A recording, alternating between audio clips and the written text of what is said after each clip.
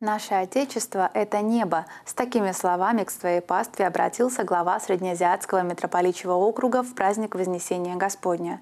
Торжество отметили в главном храме Ташкентской епархии, кафедральном соборе Успения Пресвятой Богородицы.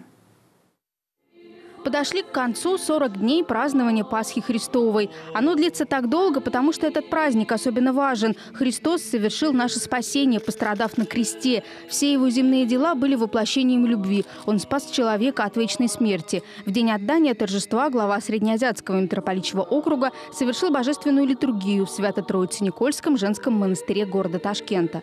Мы размышляли о воскресении Христовом о том, что Он совершил такое чудо, что Он сам себя воскресил из мертвых и стал пред всеми людьми воскрешенной плотью. Эта плоть Христа Спасителя стала одесную Бога и.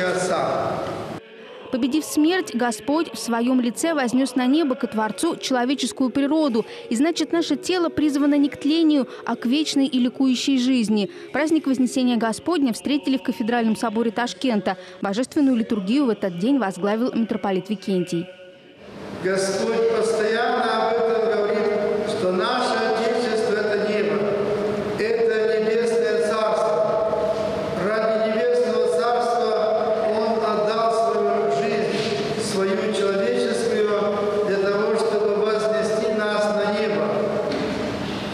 И поэтому, дорогие братья и сестры, мы не призваны жить на этой земле постоянно пред очами Божьими, постоянно жить пред очами Божьими, чтобы не забывать о нашем Отечестве.